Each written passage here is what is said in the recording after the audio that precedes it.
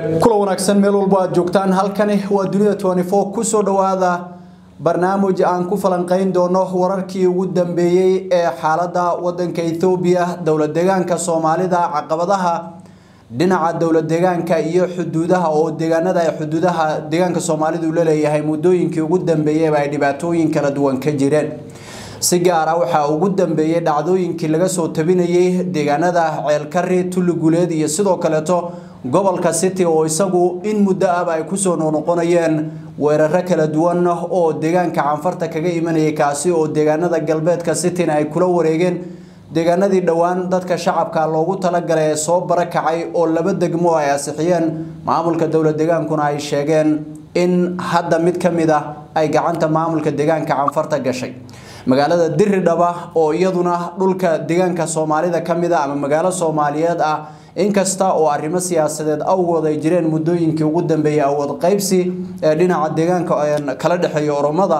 ismaamul dowladda federaalka hoos tagana ah iyadana caqabado ayaa laga soo sheegaya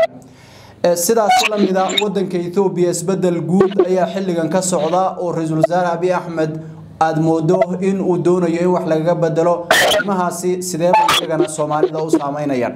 barnaamijkan waxaa marti igu ahaa ilana falanqeyn doona haddii uu rabbi idmo cabdi maxamed cabdi waa dr cabdi maxamed cabdi dr buubaal oo ah nin ka faallooda falanqeeya arrimaha geeska xaaladda wadanka kana mid ahaa siyaasiyiintii hore ee dowlad deegaanka soomaalida iyo sidoo kaleeto xilal kala duwan kasoo qabtay oo dhinaca baarlamanka ah magaalada dirdhaba sidaasi lamid a xildhibaan ayuu kasoo noqday waxa uu u yahay xaaladda guud ee ka jirta wadanka ethoobiya dr cabdi soo dhawow aad baan kaaga mahad celinayaa waktigaaga qaaliga ahaa kusoo dhawow barnaamijka bal marka koowaad waxaan jeclaan lahayn si guud inaad aniga iyo daawadayaashaba sawir naga siiso xaaladda wadanka ethoobiya ee xilligan maxamed walaal waan dhowahay waana ku salaamay waxaanan salaamay dunia twenty four media iyo dhegeystayaashooda. Sidaad sheegta haddaan ku bilaabo xaaladda waddanka xaaladda waddanku waa xaalad aada u murugsan in la saadaaleyanayo dheg tahay maxamedow waxaan ogsoonahay waddankan inuu yahay waddan taariikh dheer ku leh halgan siyaasadeed ama halgan xornimo doonba oo ay umqooneeduhu ay soo mareen dowlado kala duwan oo boqortooyo diin ku saraysan iyo ciidamo ay xakumi jireen ugu dambayntii afartan sane u dambaysa ee maamulkii t b l f toddobiyo labaatan sankii labaatankii sanee dambe kolkii meesha laga tuuray waxaa jiray didiraal badan oo la filaya waddankan inuu qaabo waddo dimuqraadiyadeed kala jawaabo baahida iyo su'aalaha iyo xaqa iyo xuquuqda ummadaha etoobiya ay boqolkaa sanada ay ku dulmanaayeen ay doonayeen oo bad soomaalidana qayb ka tahay. Laakiinse waxaa dhacay ra'iisul wasaare abiy oo aan nin u xagliyey marna xagga qoomiga iyo dastuurka marna u xaglinaya amxaarta xagjirka inuu amxaarta xagjirka ay ku awood badnaatay sidaana dagaal ugu galay xaaladda iminka joogto waxa weeye xaalad nabad naalahayn colaad naalahayn tigraay nabad iyo iyaku awoodda saarayaan. Nimanka tigreegu waa haddii run laga hadla maxamed oo culayska ugu badan iyakaasu saaraya nimanka. Heshiiskii inta ugu badnayd iyakaa fulinayo. Heshiiska inta ugu badanna iyakaa tanaasulka sameeyey sababo badan baa qasbay oo aan wada ogsoonahay xaaladii bilaadinta dhimo dagaalka oo siday filayeen aan ahayn beesha caalamka iyakuna oo etoobiya welwel badan ka muujinayso eritrea iyo amxaartuna iyakuna dan gaara iyagoo ka lahaa dagaalka weli haata iyaka daacad marka adiga waxaa ku soo kordhay xaalad kale oo siyaasadeed oo xisbigiisa dhexdiisa aad u khalkhalgelisay. Kala qaybsanaan badanna xisbigiisa ka dhalisay. Taas waxa ay keenay keenaysaa iyadoo caadis ka tahay marka dagaal laga soo laabmo inkastuu dagaalkan weli dhamaan oo dagaalkan arabada unbuu u soo wareegay dibadii oromada iyo awoodda la saaraya tigreega naftiisu eritrea maxaar ma bixin laakiin inkastay weli nabadda ku sii adkaysanayaan u kala qaybsanay jirto marka hirdankii baa soo galay xisbigiisa toddobaadada waxay sheegayaan adeecadaha maxaarta iyo oromadu in ay ay ay wadahadallo badan iyo qiime badan u socdeen marka waxaa soo baxaysa iminka kala furfurnaashadii marka waxaad inuu isagu awood badan yeelan doono iyay u badan tahay oo marka horeba xisbigaba uu toos waxoogaa u awood badnaa laakiin awoodda ay ku ururayso xaggiisa sidii mala dagaal dagaalka eritrea kadib. Marka waxa shalay baarlamanka saan ogsoon dhahay madaxweynaha maxkamadda guud iyo ku-xigeenkii bay iscasilay gabadha halkaa joogaysa dhanayey cid kalaa lagu magacaabay oo aad weliba isagu uu jaamacadda exaam uga keenay laakiin la filay marka cadaaladdu waa waxa etoobiya laysku haysteen badan meesha ka dhacay kubsi badan baa dhacay dil badan baa dhacay caalamkuna baaritaan la sameeyey etoobiyana way ka warwaraysaa oo iminka abiyii kaarka isticmaalaya waxa weeye horta cadaalad in loo helin wixii meesha ka dhacay marka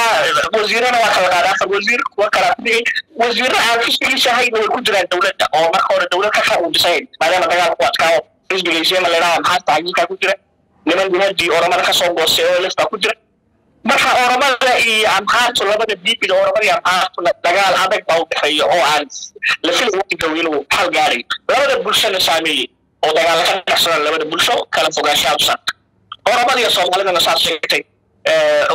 waxaa jira iyakuna xurguf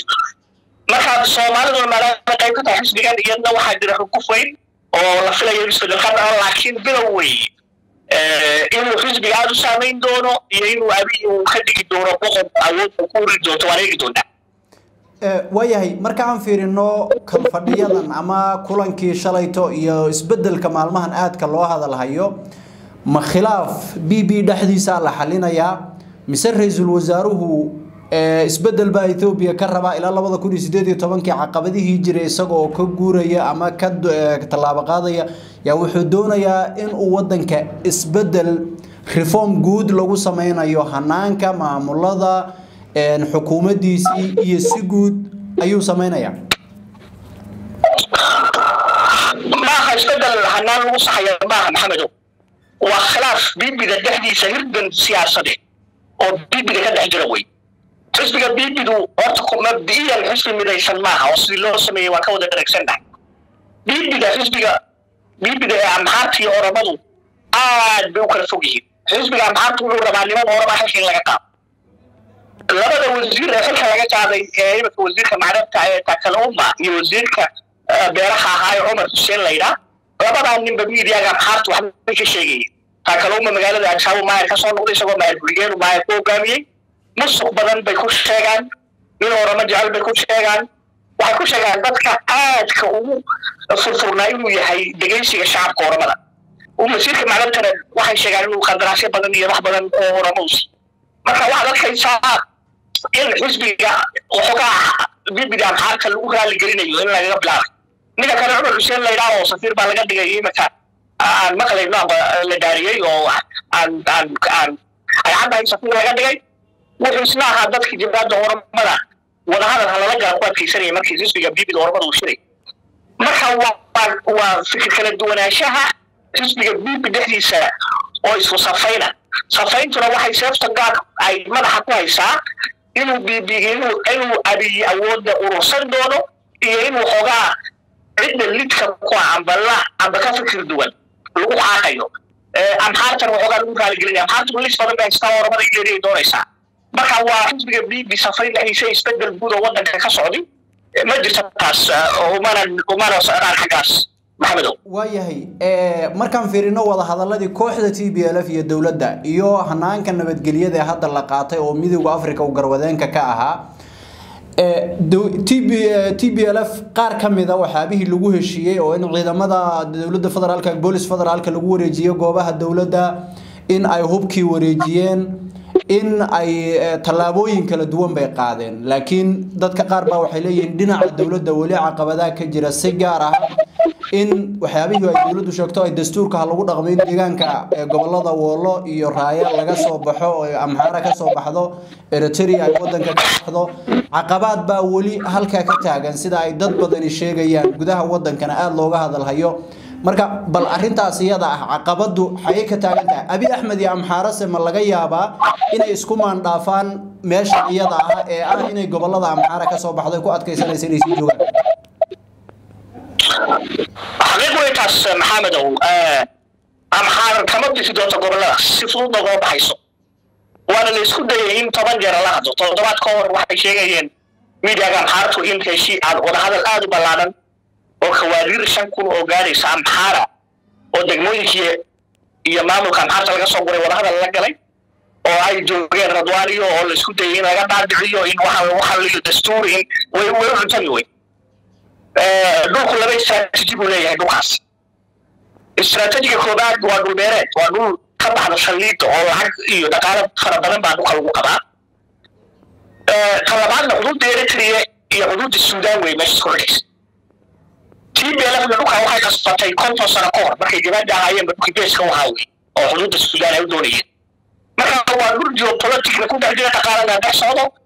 way adkaan doontaa amxaar inay si fudud dhulka u yeelaan wax kaloo ma dhulka ka dhacay maxamedow xaso iyo isirsatayn dadka tigreega dhulka waa loo malyuna malyuna badku lagu qiyaasay ma joogaan waa laga xaaqay dhammaantood mana soo laami karaan oo waxa gaaray wax aad u fol eritrea ayadna ku jirta oo ogolaanayn tigraay inuu xuduud la yeesho suudaan marka eritrea maamulka iyo siyaasintuu joogo tigraay nimanka maamulka t b f iyo shacabka tigraayga bacadu bay u arkaan aadna way uga foljinaanayaan inay isku fogaan marka wax aad u adag weeye in ay amxaar si fudud u yeesho meeshaas kale waxa taa ka sii dara shacabka amxaartu